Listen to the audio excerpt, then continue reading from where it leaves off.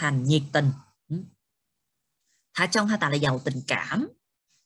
Ở chỗ này là đối xử một cách giàu tình cảm, nên đối xử ân cần, đối xử niềm nở, đối xử nhiệt tình đó. dịch kiểu nào cũng được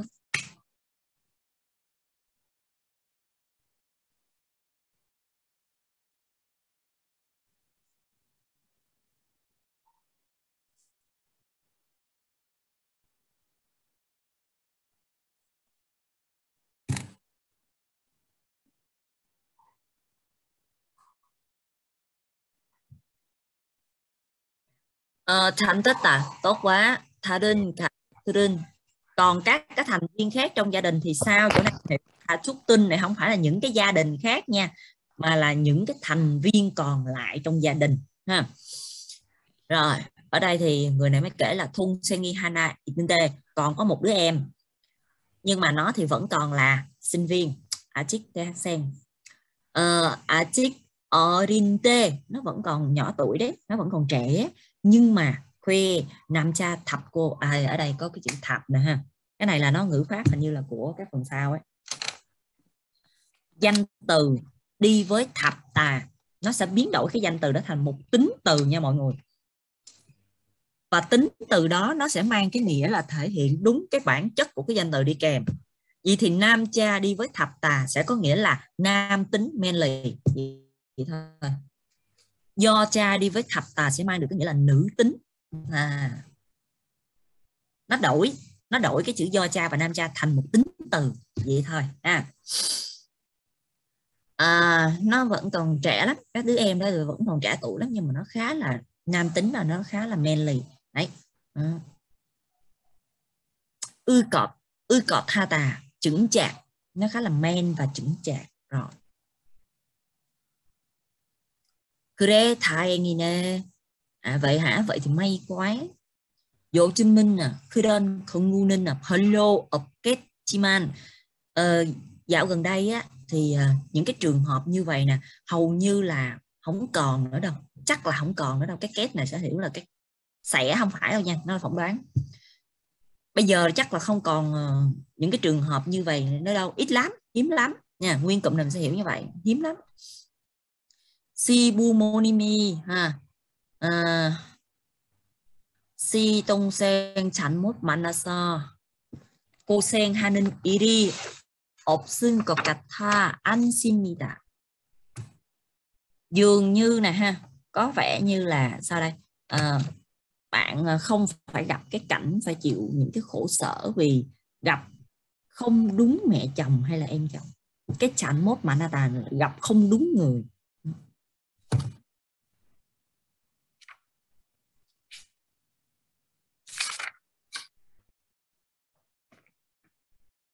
gặp không đúng người. Ừ. phải chịu khổ sở vì gặp không đúng người. Ở đây có mấy từ nó bị sai chính tả nha mọi người lưu ý vô quá sửa. Nè si sibu monimi chỗ này là ina đấy. Không gặp đúng bố mẹ chồng hoặc là em chồng. Chỗ này ina nha bị sai chính tả. Chronica Neka Cúc uh, ờ, Neka. Neka là bạn ha. Cúc Urioma Khatne ờ, thì bởi vậy mà bạn giống mẹ của tôi quá nha có nghĩa là cái lời nói của bạn mình vừa nói nghe giống cái suy nghĩ cái cái cái, cái à, người mẹ nói ừ. bạn nói giống mẹ tôi nói quá bạn giống mẹ tôi ghê ừ.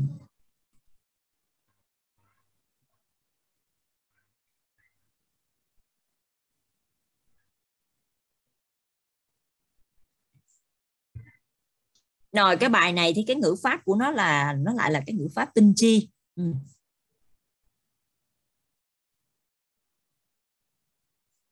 tinh chi tinh chi nữa, coi trong bài mình nằm đâu vậy? Tinh chi nằm đâu vậy mọi người? Sao nãy giờ dịch quan lượt mình không thấy cái tinh chi ta? Thấy tinh chi đâu mọi người?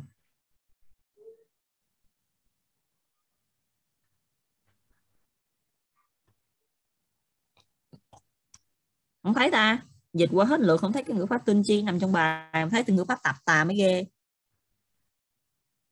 Thập tà thì nó nằm ở bên của ngữ pháp của cái theo hoa hai.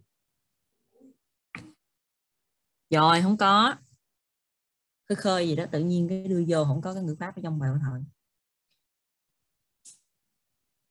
rồi, ở đây mình đi cái từ hết hả đây là phần từ vựng về sân các với lại là thức trinh. Ờ, tính cách và những cái đặc điểm nha. Đặc điểm này là cũng đặc điểm về tính cách luôn. Rồi, mình có cái từ là cha sang hata là chu đáo, đúng này ha, sun hata là hiền lành. Sun hata là kiểu ờ, nó không giống với chắc hata nha. Chắc hata là kiểu hiền lành, lương thiện. Còn sun hata này nó sẽ, cái kiểu của nó là ngoan, nhu mì mọi người. Ngoan, nhu mì, ha.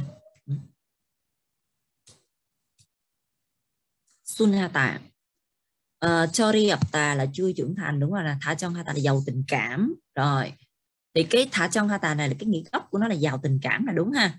Uh, nó đi với những cái từ giống như là động từ phía sau là đối xử đối đãi thì nó sẽ mang được cái nghĩa là đối đối xử hoặc là đối đãi một cách ân cần được chưa nào? Nhiệt tình ân cần. Mình nói là uh, chủ nhà đã đối đối đối đãi tôi rất là ân cần. Mình sử dụng này nè thả trong hake y chang cái cụm ở trên cái bài hội thoại của mình uh, sắc sắc hata là niềm nở. Sắc sắc ha ta niềm nở được. Uh, một người có niềm nở nhã nhặn. Uh, che mót teroita che mót teroita cái nghĩa gốc của nó là làm theo ý mình. Có nghĩa là người này bướng bỉnh nha. Bốc đồng bướng bỉnh. Nó có cái tính là bốc đồng hoặc là bướng bỉnh. Thích làm làm om hata là nghiêm khắc đúng nè orun sirapta là như người lớn. Đúng rồi đó.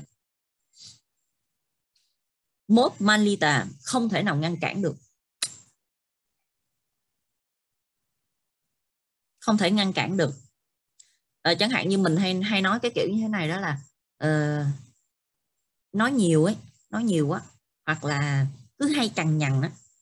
Cái lời cằn nhằn không dứt á cằn nhằn hoài luôn là cái lời cằn nhằn không thể ngăn cản được nè là nó sẽ nguyên cụm nó sẽ mang cái nghĩa là cằn nhằn hoài cứ hay cằn nhằn ấy nè. Cụm đó mình xài vô được. Còn không á, thì xài cái từ ở dưới là chansurika simhata nó cũng có cái nghĩa là uh, hay cằn nhằn.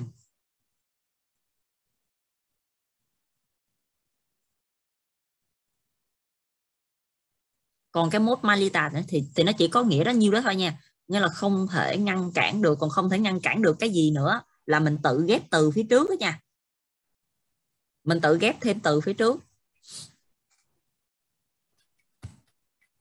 Còn chansurika simhata thì nguyên cụm này mặt định nghĩa của nó là hay cằn nhằn. Hay cằn nhằn lắm. Ươi chót ha tà, chững chạc, đúng rồi.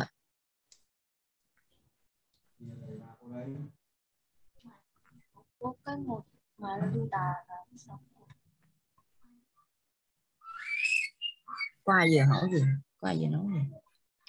Cái một tà. Nói sao? Ai nói gì vậy? nói lớn lên. Một tà. Ừ. không thể ngăn cản được đúng rồi nghĩa y chang vậy luôn rồi còn không thể ngăn cản được cái gì thì để thêm danh từ phía trước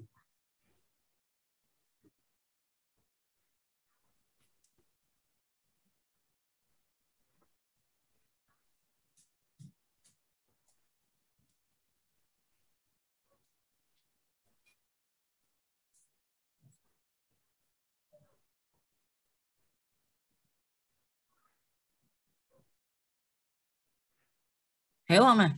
Còn không là sử dụng trong những chẳng hạn là à, chẳng hạn như là uh, nếu anh ta muốn làm thì không thể ngăn cản được. À, cái, này kiểu vậy cái này cái cụm này nó chỉ có nghĩa vậy thôi cho nên là mình chia vô. Oh, tùy trường hợp mình chia vô thôi. Rồi mình xem cái ngữ pháp này nó ghi là tinh chi nha. Tinh chi tinh chi. Thể hiện là dù có làm việc gì cũng không có liên quan. Không thành vấn đề không sao hết. À, là khẩu ngữ sử dụng trong văn nói. Phía trước thường đi với à, những cái đại từ để hỏi như là mua ờ thì vân vân. Chủ yếu dùng với động từ rồi. Thật ra là đi được hết á động tính từ danh từ đi được hết luôn nhưng mà thường đi động tính từ rồi còn cái dạng mà đi với danh từ á, thì thường là nó sẽ đi mặc định những cái cụm mà có sẵn mọi người. Ví dụ như là mua tinh chi ọ ti tinh chi nu cu tinh chi đó là cái dạng mà đi với danh từ á, nhiều nhất á, là nó đi với những cái đại từ để hỏi. Tương đương với tiếng việt là bất cứ bất kể. Câu ví dụ bạn tôi bất kể ăn cái gì thì cũng ăn một cách cực kỳ ngon miệng. Ne chin cu nên môi một tương chi bất kể ăn cái gì thì cũng ăn một cách rất ngon miệng. Vậy thì chúng ta sẽ thấy tinh chi đứng giữa câu này ha. Nó gần giống như cái nghĩa nha, cái nghĩa dịch ra tiếng việt là gần giống ngữ pháp auto mọi người. Mặc dù dù có nghĩa là bất chấp cái vế một nó như thế nào thì vế hai nó vẫn xảy ra. Đó, rồi cái mặt nghĩa là nó giống.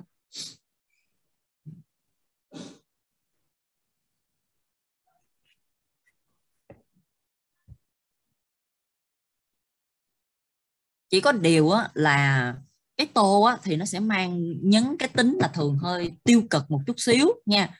Nó hơi nhấn mạnh hơn mà nó tiêu cực hơn có nghĩa là nó mang cái nghĩa là bất chấp bất kể cái cái cái ờ, cái vế một có nghĩa là cái vế một có như thế nào thì vế hai nó cũng sẽ đi ngược lại cũng có thể đi ngược lại được chưa nè? Nó mang cái tính như vậy.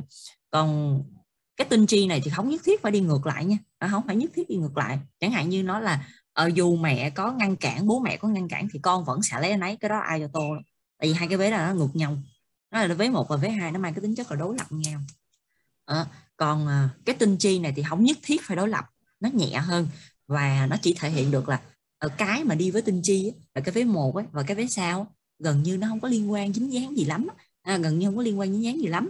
Và cái mà nó đi với tinh chi ấy, thì nó giống như là uh, không có thể ờ, chi phối cái vế sau được. Ừ, không chi phối nó không có mang cái tính chi phối cho vế sau vậy thôi. Ừ. OTA san tinh chi ở đây mình sẽ thấy ha là bây giờ là có ừ, bất kể là sống ở đâu thì ờ, cũng đừng quên quê hương của mình nhé. Ừ.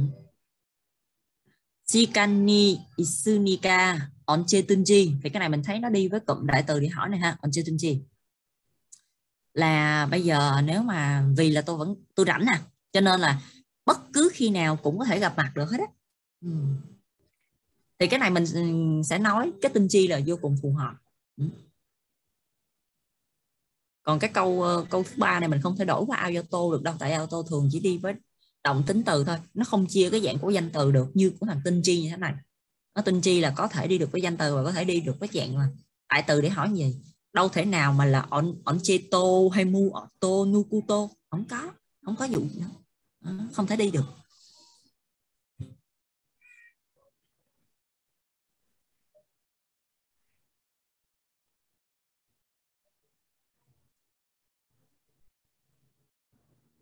Câu ví dụ, câu ví dụ phải trong sách rồi. Rồi, câu ví dụ này là trong sách nha mọi người. Đó. Ờ, Nó ne chipe kata on. E2D e là những cái đứa trẻ nè, mà nó đi tới nhà của bạn chơi xong rồi nó đi về á, thì tha tin tất cả những cái đứa đó đó. Nó đều khen em của em của bạn hết nó đều khen em của bạn như vậy hết cái nê nê này là của đó nha, của người ta đó nha, của bạn mình đấy nha. Uri thung sen sắc sắc he so? Nói có từ sắc sắc he so? Sắc sắc hà tà, niềm nở uh, em trai của tôi thì nó bạc tính tình của nó niềm nở lắm cho nên là uh, dù cho là nó gặp ai đi chăng nữa đó ha bất kể là nó gặp ai đi chăng nữa thì nó cũng làm sao? Đối xử cho người ta rất là uh, ân cần nhiệt tình đó. cũng rất nhiệt tình với họ.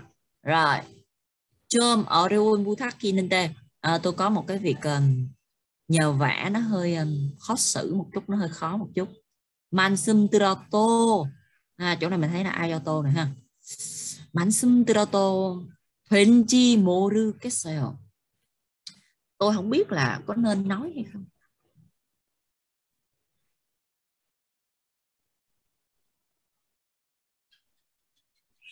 Tôi không biết có nên nói với anh hay không với bạn hay không. Thì người kia mới nói là uri saye cái mối quan hệ hoặc là giữa chúng ta là như thế nào? Của tôi tôi với bạn là như thế nào? Ờ, à, Orawo hachimashiko đừng có cảm thấy khó xử như vậy đừng có cảm thấy khó khăn như vậy. Motunchi dù là cái gì thì cũng hãy nói đi. Bất kể là chuyện gì thì cũng hãy nói đi. À. thì cái câu mà urisaye oteo là mình xài kỳ được nha kiểu văn nói. Nói là của hai đứa mình là mối quan hệ thân thiết với nhau mà. Có nghĩa là ờ, tụi mình thân với nhau mà sao có gì không nói được?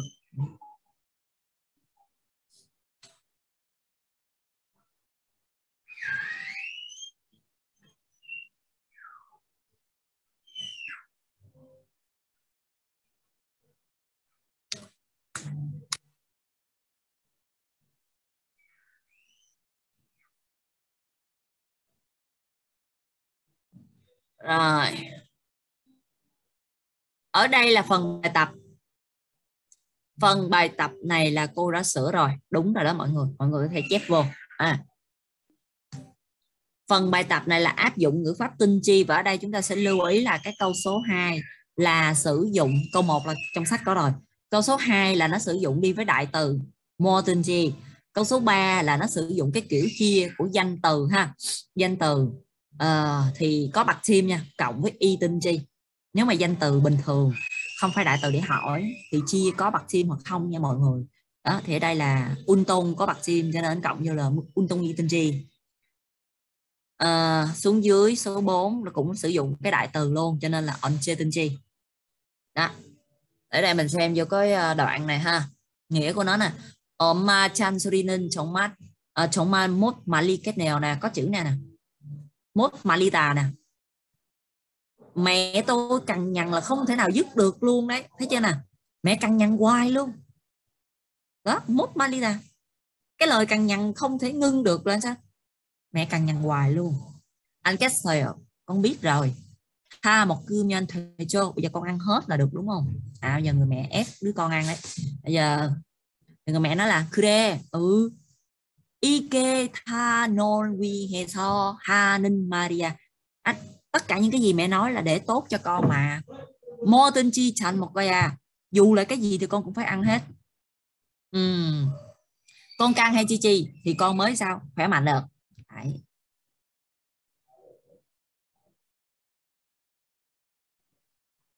câu số 3 thơm chue hơi sa chúc cu the hoa ca xin coi tuần sau. Tuần sau là có một cái cuộc thi à, đá banh của công ty mình. À, bây giờ đội của mình á, bây giờ ai đi ra thi đấu thì được ha. Nuka Nakamen. Naka này không phải đi ra ngoài đi ra thi đấu ấy. thì người này mới bảo là Minsu si cầu teo Minsu thì sao? À, Minsu đó là bất kể là cái môn thể thao nào cũng chơi giỏi hết ừ chỗ này nó phải có cái danh từ thể môn thể thao vào mới được à, bây giờ vô là đá banh nè rổ nè bàn nè. Cái mà nó không thể chơi là không có có nghĩa là không có cái gì mà không chơi được hết. Đấy. Buchanim apuro. Thách bé cao quạt ninh tê. À, buchanim ơi cái uh, giao hàng nó tới rồi kìa. À, bây giờ là tôi mang vô phòng nha. Onjeka, chu sư xe à, nhưng mà tôi uh, cứ vô khi nào thì tiện. Thì bây giờ ông mới bảo là samusire Inkopsi Kachi nhắc lại một lần cuối nha mọi người. Tất cả những cái khoảng thời gian, khung thời gian mà nó đi với Kachi, nó chính là thời gian deadline, đó là cái thời gian cuối, thời gian hạn chót, hiểu không? Cho nên chỗ này là cái người này nói sao? Tôi sẽ ở văn phòng cho tới 7 giờ thôi, cho nên là cư trên iramen nếu là trước đó thì onje tunji wato theo. Trước 7 giờ, đưa giờ nào cũng được chứ tới 7 giờ thôi nha sau 7 giờ là đi về đó. Ừ, cho nên là cái này khi mà nghe ha nếu mà sếp có nói với mình cái thời gian mà nó gắn với gachi nên nhớ nha. Hạn chót đó hạn chót đó chẳng hạn kêu. Tới um, thứ sáu là phải nộp báo cáo. Ông đưa cái chữ cum du in kachi là hiểu rồi đó. Bữa cuối rồi đó, hạn chót. Chứ không phải là tới bữa đó mới bắt đầu làm nha. Bữa đó làm chót rồi đó.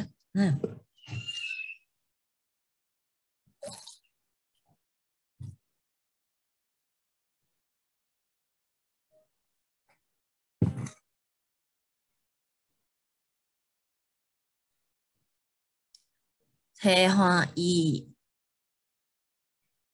rồi cái bài thứ hai của mình thì là chỉ có hai người nói thôi à. Ờ, một cái là MC nha reporter reporter là cái người dẫn chương trình đó mọi người. Ở cái này mình sẽ hiểu nó là MC luôn đây ha. Để là cái MC luôn cho nó dễ. Thì à, ở đây nó ghi là cái chữ phóng viên. Thật ra phóng viên thì nó không phù hợp với lại là một cái chương trình truyền hình. Cho nên chỗ này mình sẽ hiểu là cái chữ này mình đổi gọi là MC nha. Rồi còn cái chữ reporter này á, mà nó nó ở cái trong một cái tình huống là uh, dẫn tin ở ngoài á, thì mới có thể mang cái nghĩa phóng viên được. Còn này là đang trong cái bối cảnh dẫn chương trình truyền hình cho nên phải xài cái từ là MC nha. Đó. còn cái nghĩa gốc của reporter đó là cái người dẫn chương trình còn chương trình gì thì không biết cái này tùy bối cảnh. 오늘 스타와 데이트 시간에는 ha 인기 드라마 수선화 가족 cái này là bữa có sửa rồi nhưng con không có để đây à, cái này là gia đình hoa thủy tiên nha mọi người bộ tên bộ phim là gia đình hoa thủy tiên Susan Hoa nó chơi để tiếng Anh luôn gì đó hoa gì đây Daffodil hả trời không biết đọc đúng không nghe trời ghê quá Đừng để tiếng Anh nha dịch ra luôn. Một khi đã dịch ra rồi là các bạn dịch hoàn toàn bằng ra tiếng Việt luôn. À, trong à, cái chương trình hẹn hò với ngôi sao hôm nay của chúng ta thì à, à đã có mời tới cái diễn viên nam chính của một phim truyền hình à, đang nổi tiếng dạo gần đây đó chính là hoặc là đang được yêu thích dạo gần đây đó chính là gia đình Hoa Thủy Tiên. À, xin chào anh Hân Sơn. À, trước tiên là à, xin anh à, giới thiệu hoặc là nói một chút à, hoặc là nói đôi nét về à, cái vai diễn của anh à, và bộ phim à, mà anh à, được đóng vai chính. Đó. Dịch chỗ này thoáng thoáng rồi mọi người.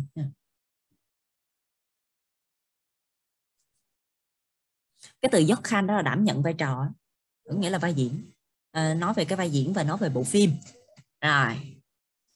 Bây giờ anh ta sẽ nói về cái bộ phim như thế nào đây? Vâng xin chào tất cả mọi người. Trước tiên thì u sơn hoa khá trúc kinh thá tức khan khá trúc e. Mình có cái chữ e này nha. Trong đa số những cái từ vựng mà mình có cái chữ e e trong đó, đó mọi người. Nó là về cái tình cảm. Có cái chữ e này về tình cảm. Khá trúc e này là tình cảm gia đình.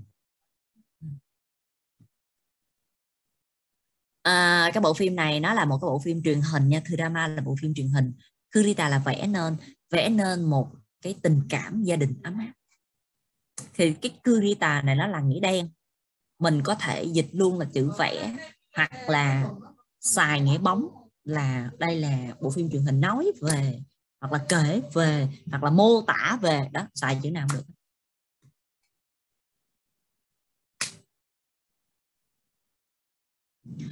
많은 어름 때문에 가족이 갈등 갈등 là mâu thuẫn đó mọi người cái chữ này là mâu thuẫn 겪기 là chịu ha, chịu đựng những cái mâu thuẫn 결국 사랑의 힘으로 힘 là cái sức mạnh 극복 하다 là vượt qua nha 극복 하다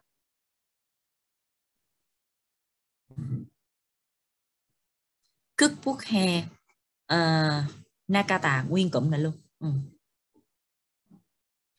thì à, đây là một cái câu chuyện là gia đình. À, nói về gia đình. À, à, họ đã chịu đựng những cái mâu thuẫn họ là họ đã phải à, họ gặp phải những cái mâu thuẫn ha. Họ gặp phải những cái mâu thuẫn do uh, rất nhiều cái uh, nghịch cảnh hoặc là những cái khó khăn à, tuy nhiên là cuối cùng thì họ đã vượt qua bằng sức mạnh của tình yêu. À, sao?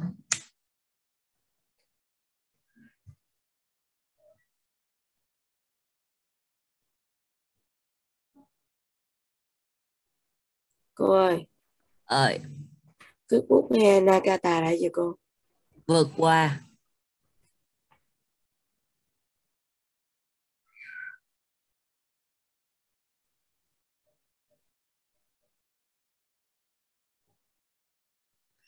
tô Tirama Sokkenen chấm minh y quyên cụm này nha chấm minh những người trẻ tuổi.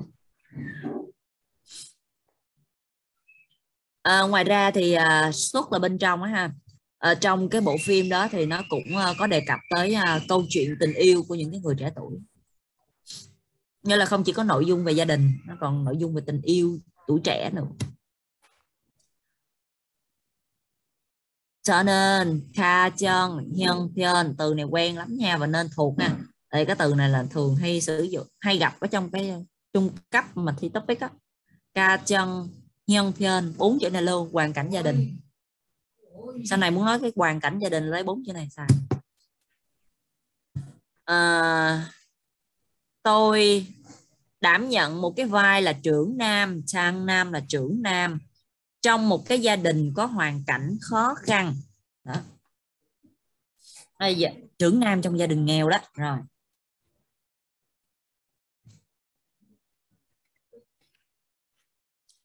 Ờ, uh, Magne do tôn sen nghe tông senge chingua ha hake teta uh, và tôi yêu hoặc là phải lòng một cái đứa bạn của nhỏ em gái út nhớ nha đứa bạn của nhỏ em gái út mắt nè do tông sen là đứa em gái út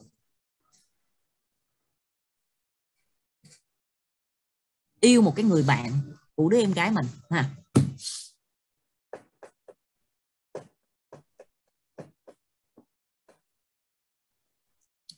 Currente à, nhưng mà cái cái cô cái cô người bạn đấy đấy nè thì à, uh, Yoshi Orum Suke Soto 함께 살아가는 소녀 가장인데요.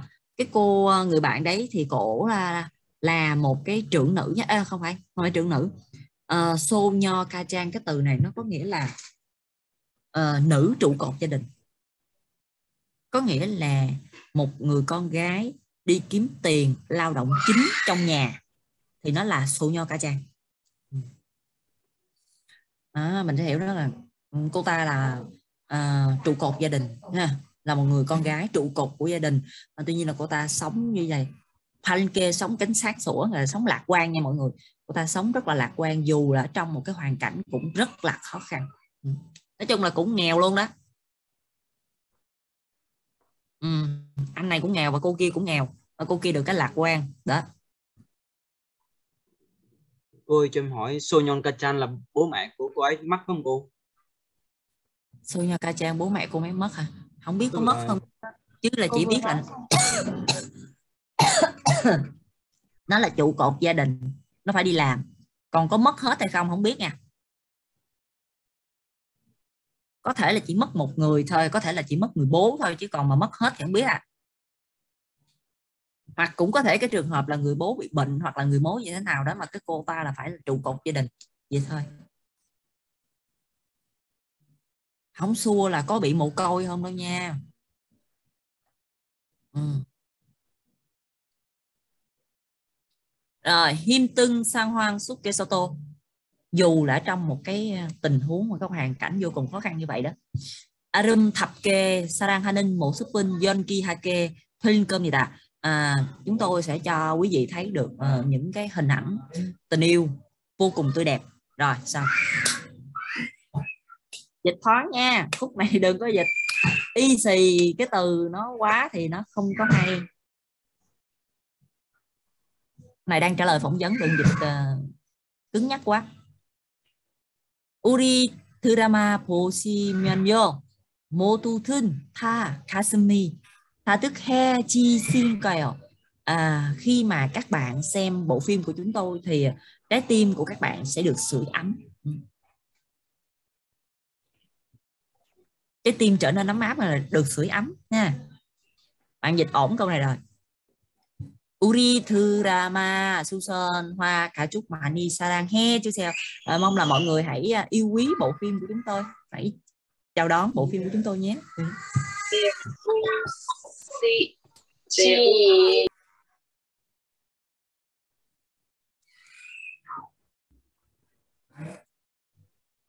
số này ha. Là cái gia đình ờ, phim ờ, tên của bộ phim là gia đình Hủy Tiên. Bỏ cái tiếng Anh đi là được.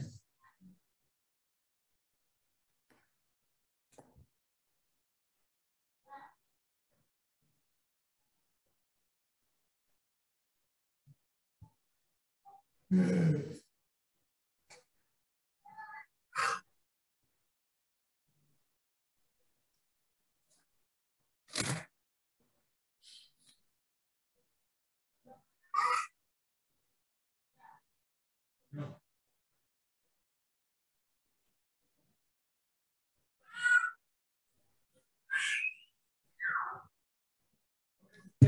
Rồi tự dựng của mình là về quan hệ của gia đình thì mình sẽ có những cái từ như là bu bu là vợ chồng ca trang là người chủ gia đình ờ, à, nam mê anh em gái cha mẹ là chị em gái Hyun chê là anh em trai đúng nha. Ờ, à, Trang Nam là trưởng nam Trang Nhân là trưởng nữ Mắt Ne là con út à, quê tung ta là con gái rượu quê tung ở tên quê tung ta là con gái một con gái một chỉ gia đình đó chỉ có một đứa con và đứa con đó là con gái thì mới là quê tông tam nha. Tương tự ở dưới là gia đình chỉ có một đứa con và đứa con trai thì sẽ là quê tông a tinh. Đọc đinh đó.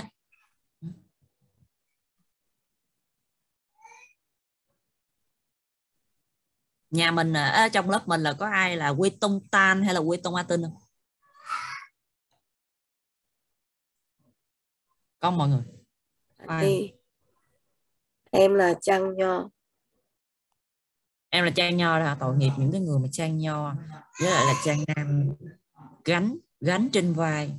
Em nghe em cũng phải nói em cũng là chăn nho cô. vậy luôn đó hả? Tội nghiệp. Thứ mắt men đỡ hơn mắt men út cái gì nó nhàn. Thứ nam thứ nữ gọi là sao? Tết á, được được ba nói một cái mà nghe ấm lòng nói với lại mấy đứa em kiểu hả à, chị là cực vất vả nhất trong số mấy đứa con ừ. thường là là là đứa con đầu á, đứa con đầu là sẽ được kỳ vọng nhất. Cha mẹ thường đặt cái kỳ vọng vào cái đứa con đầu nhất. Nhưng mà tại vì sau khi mà đứa con đầu ờ, sinh ra rồi đó thì nếu mà lần lượt tiếp theo những đứa con sau nữa thì cái gánh nặng của cha mẹ lại đổ dồn cho những đứa sau rồi. Thì có phần lơ là bỏ bê mấy đứa đầu đi. Lúc đó mấy đứa đầu á nó lại gánh thêm cái nhiệm vụ nữa là trong em phụ rồi cho nên là thường là cái tình cảm trong cái tình cảm đôi khi phải chịu thiệt thòi hơn chút phải chịu san sẻ phải gánh vác giúp cha mẹ nhiều hơn. Còn con út thì nó hưởng trọn thường là cái đứa cuối là đứa hưởng trọn này còn một mình thì khỏi nói ha. Một mình là hưởng hết. Có cái đứa nhiều cuối là nó nó vừa khôn mà nó vừa sướng chứ. Mình lớn mình vừa vừa ngốc mà mình hả vừa khổ. Nhưng mà nói chung là ở cái vị trí nào thì ờ, sẽ có phước phần của vị trí đó thôi. Ừ. Còn mà nãy anh, anh Tân nói gì? Con con giữa hả? Mấy đứa con thứ hả? Con thứ thì nếu mà nhà đông con là phải kèm thêm số. Chẳng hạn như là là ờ, ở thun che hay xích che gì đó. Thêm cái thứ ở phía trước. Người con trai thứ hai người con trai thứ ba hiểu không? Đó. Còn ờ, muốn sử dụng cái từ là thứ nữ với thứ nam chắc nó xài cái từ tiếng hán. Có nghĩa là chỉ xài chung chung thôi không biết rõ cái thứ tự về số mấy á. Chỉ biết là con thứ thôi á. Hiểu không? Thì cái đó là chắc nó sẽ sử dụng cái từ chung để coi thử tím cái từ thứ nữ coi có không? Thứ nữ. À, thứ nữ là từ từ số 2 trở đi đó số 2 số 3 số 4 gì đó. Nói chung là giữa giữa là thứ nữ hết á. À đâu rồi? Chắc là chắc chắn nó sẽ xài cái âm hán xạ nho là đúng nè. Xạ nho. Vậy chắc là bên kia là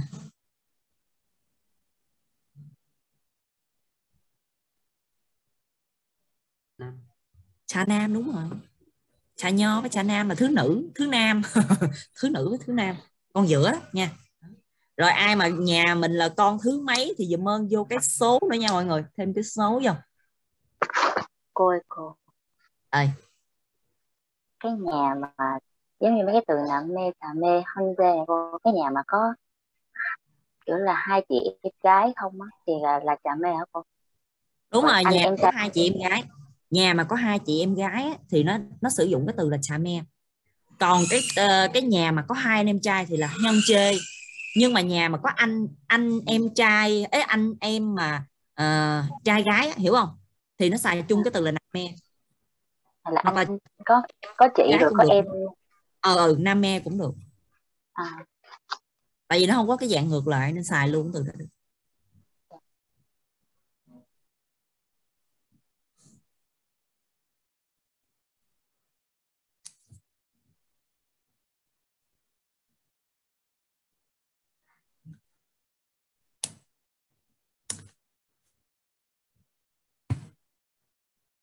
rồi bây giờ là cái ngữ pháp của mình này ha. Thì cái thập tà này nãy mình có nói rồi là nó đi với danh từ. Thì nó sẽ khiến cho cái danh từ này à, giống như một cái tính từ ha. Đó mình xài nó như một tính từ luôn rồi đó. À, danh từ cộng với thập tà là coi như thành một tính từ nha. Nằm xa thập tà vô câu là coi như một tính từ và chia nó bình thường nha. Chia nó như một tính từ bình thường. Bỏ tà đi là chỉ còn nam cha thập rồi chia bình thường. Vô tư. Biến đổi đầy đủ ha. Ừ à, thì ở đây bạn có để cho mình ở những cái kiểu đi với nó là danh từ đi với thập tà thành tính từ ha. Rồi danh từ cộng với thập tà. Nhưng mà phía sau lại muốn đi với một cái danh từ nữa. Tại vì lúc này nó thành từ rồi. Giờ nó đi với danh từ nữa được không? Được. Thì nó kiểu như định ngữ nó chia kiểu như định ngữ. Thì lúc này sẽ là tha u.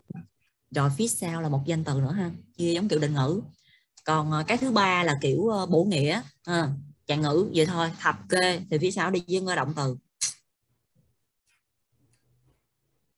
chia tùy với mọi người ha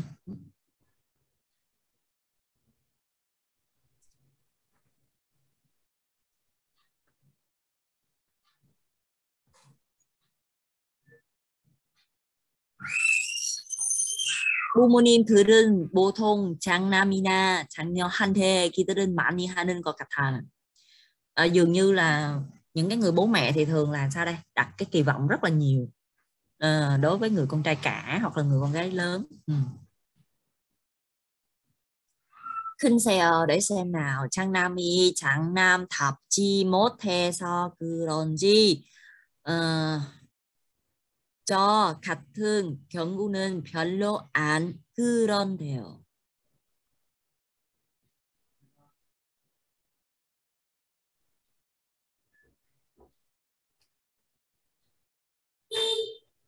Ở đây mình có cái ngữ pháp Ayasokenchi nha. Để tôi xem nào đã, có nghĩa là cái người này cũng chưa hẳn đã đồng ý cái ý này đâu nha. Nên người này nói ra ý kiến của mình nè.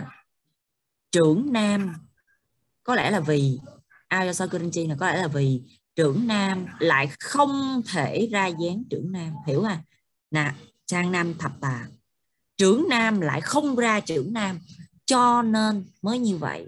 Còn nếu mà là tôi nha, cho khạch thinh cho nên nếu tôi trong cái trường hợp đấy thì hello ảnh tôi không nghĩ như vậy. Tôi sẽ không giống như vậy đâu. Ừ.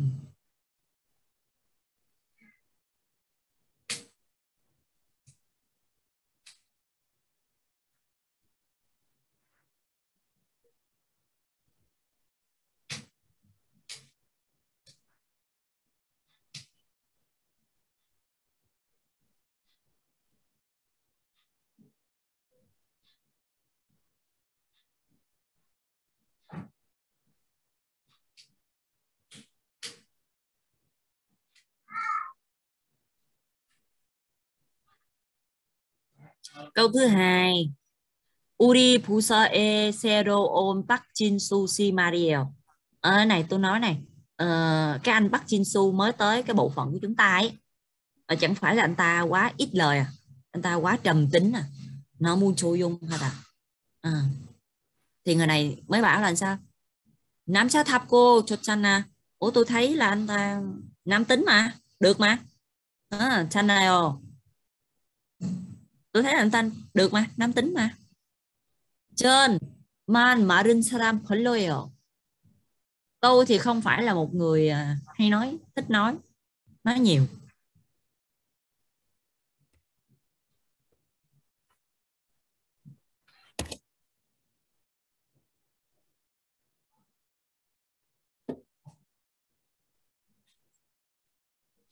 cô à ừ cô nói lại cái ngữ pháp mà sao em nghe nó em không hiểu lắm.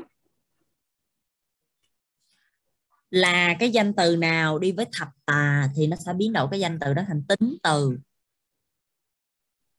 Chẳng hạn như cái chữ mà nam cha đi với thập tà thì nó sẽ đổi cái từ đó là nam tính men lì đúng bản chất người nam. Ok? Chữ trang nam đi với thập tà nó sẽ mang cái nghĩa là đúng bản chất của của người trưởng nam được chưa nè? Có nghĩa là ra dáng con cả, ra dáng con trưởng. Hiểu không nè? Đấy.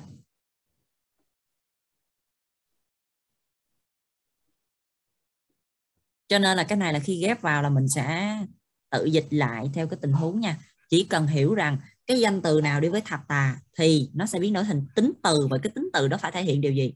Thể hiện đúng bản chất chính của cái danh từ đó. Bản chất cốt lõi của danh từ đó nhớ không?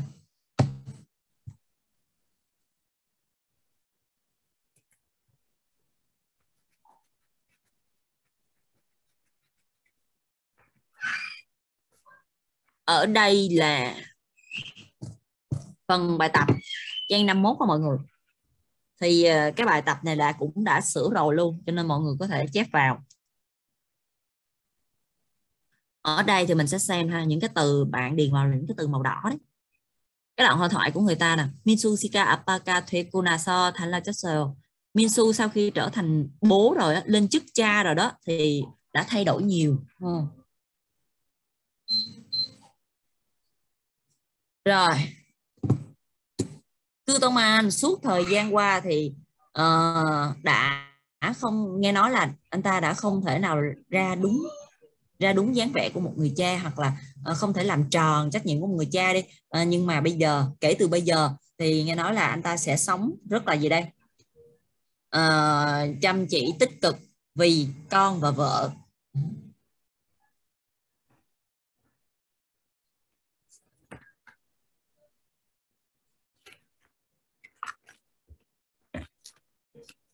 Nam cha à, à apa à, tạp tà ở đây có nghĩa là ừ, đúng bản chất của người cha hoặc hoặc là mình có sử dụng có thể sử dụng kiểu văn nói tiếng việt của mình à. ông bố của năm ấy. đúng bản chất ông bố nghĩa là ông bố của năm mình hay nói cha cha là ông bố của năm luôn ấy. Đó mình nói ai đó. Apatapta. Ừ, ông bố của năm. Nhất cô kiểu như vậy nha. Nó thể hiện đúng cái bản chất của một người cha phải như thế nào đó à, cái người cha chăm con giỏi hay như thế nào đó cho con ăn được cho con uh, chơi với con này kia quan tâm đứa con cái kiểu ừ, bố của năm đó. Kiểu văn nói của mình hay nói gì đó.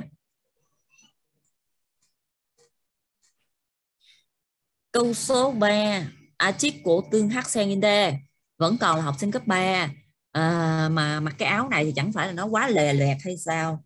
Hoa rio hay là lè lẹt sặc sỡ thì cái người này mới bảo là chứ. Vậy hả? Thơm bu nên. Vậy thì từ sau kể từ lần sau uh, con sẽ chú ý hơn để mà mặc những cái quần áo mà nó đúng học sinh cấp 3 những cái quần áo mà nó mặc đúng kiểu học sinh cấp 3 ở đây mọi người cái cổ tương hắc sen thập kê này nè. Thập kê này là nó bổ nghĩa cho cái từ ít tà phía sau. Mặc như thế nào? Mặc đúng kiểu học sinh cấp 3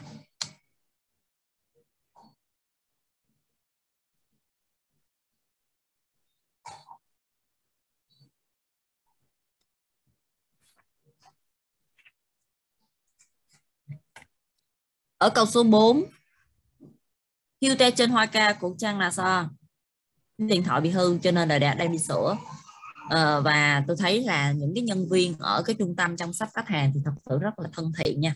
Ở đây mình có cái từ là cô cách center nè trung tâm chăm sóc khách hàng. Thì ngày này mới bảo là quả nhiên quả nhiên. Ừ. là ngay cả cái dịch vụ mà nó đúng nó đúng kiểu của công ty đứng đầu thế giới thì nó cũng đứng nhất luôn.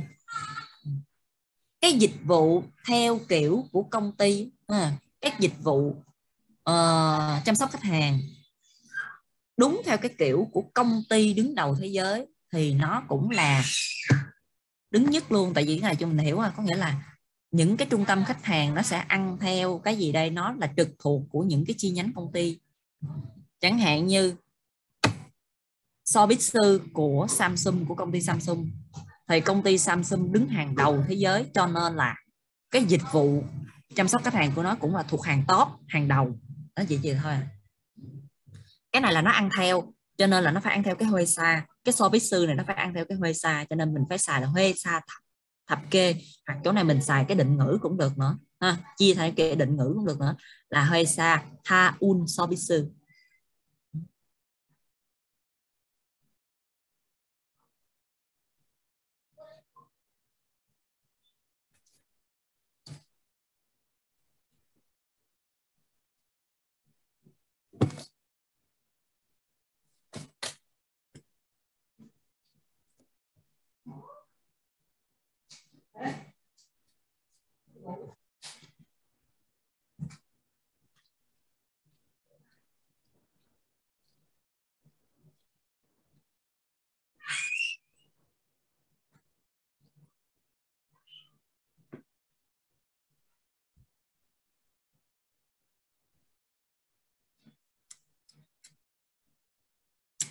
Rồi